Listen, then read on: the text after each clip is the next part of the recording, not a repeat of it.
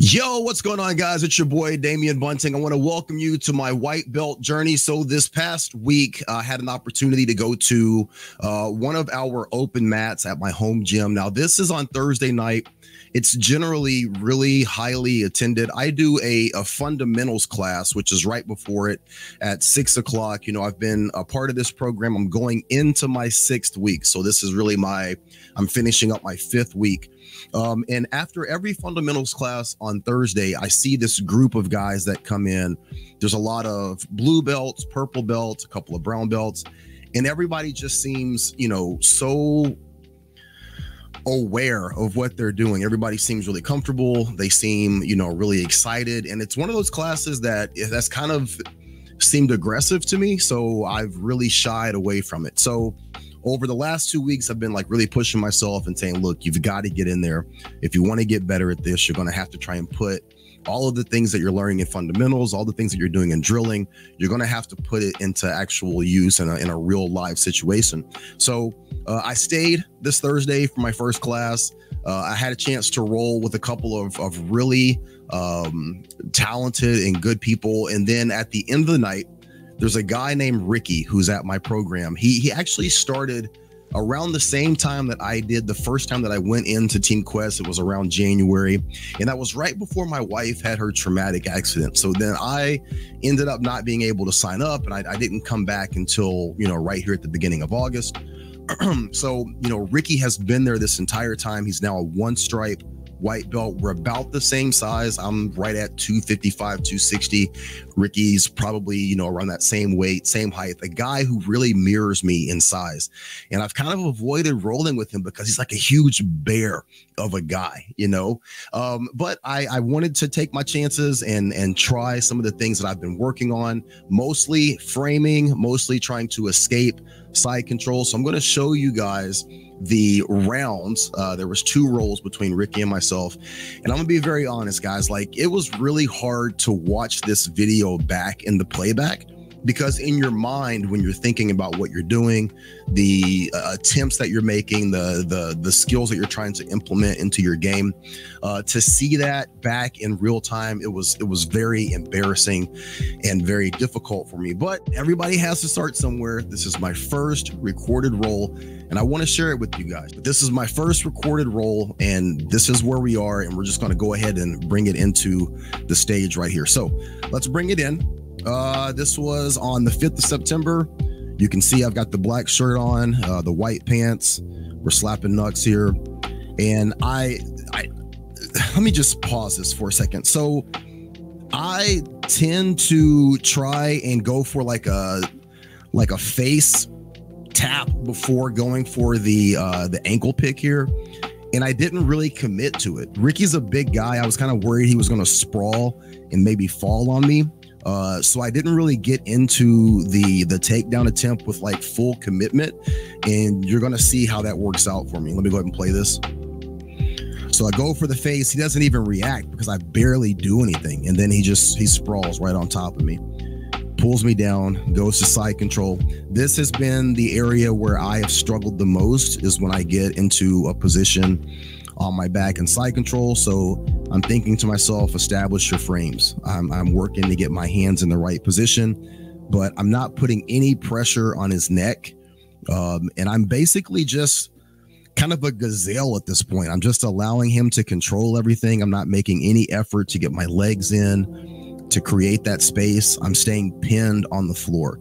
This is probably the thing that I've noticed the most is that you know, I, I, should not be allowing myself to just stay pinned on the floor. He's doing a really good job of controlling my shoulder, getting his knee into my body. I'm starting to kind of shrimp away right here. And then I'm able to get into a kind of a quasi half guard. He steps right over that.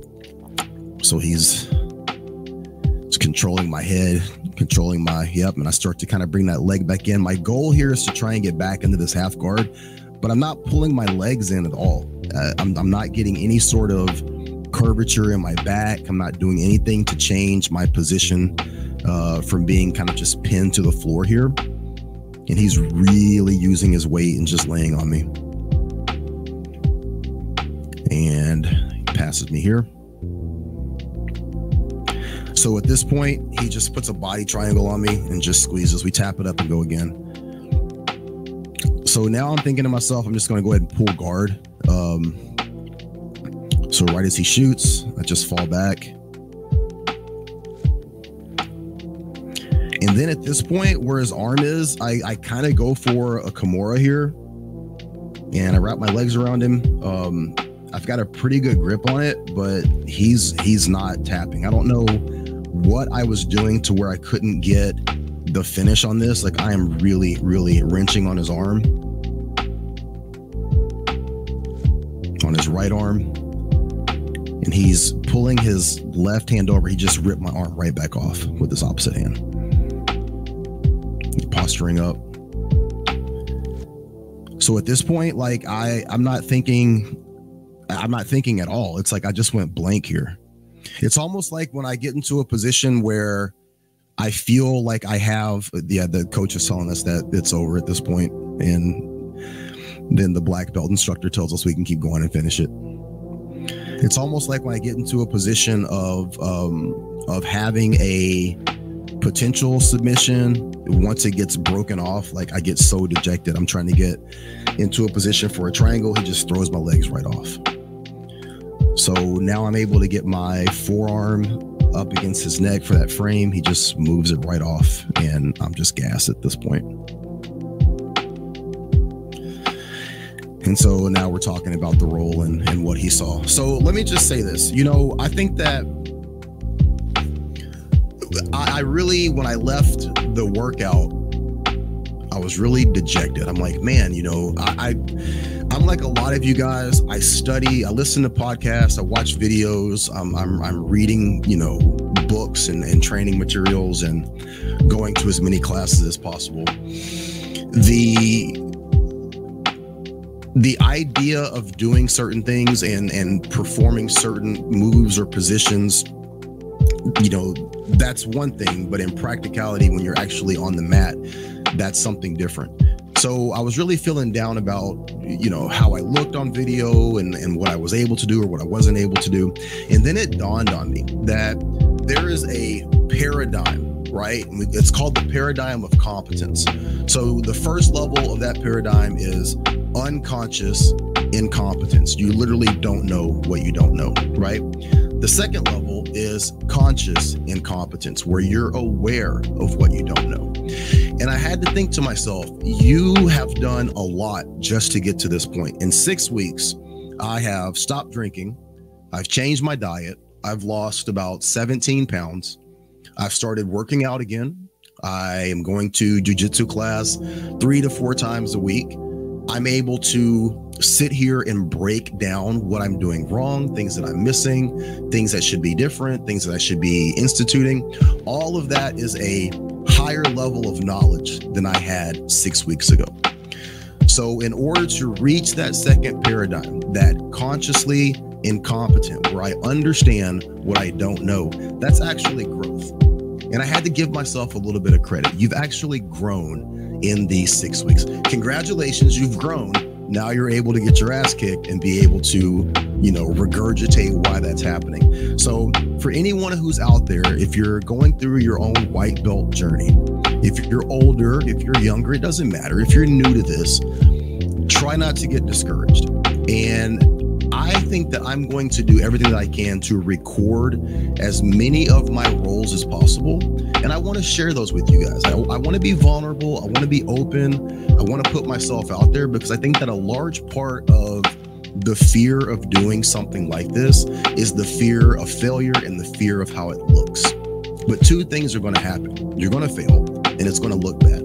And that's the only way that you can grow. So we've made huge progress in the first six weeks. I'm at a, a, a, level of competence now where I understand what I don't know. I understand what, I, what I'm not able to do. And there's room for growth here. So uh, that was my first set of rolls, my first Thursday night class. And I'm looking forward to any feedback, any thoughts you guys have. Share everything that you can in terms of what you what you think, what you see, what you feel, and also what you guys are going through. Okay. I really appreciate you guys being here. Help me by sharing your thoughts and your feedback. Okay. If you're on your own journey, I wish you the best and I'll see you guys next time. Okay. Be great.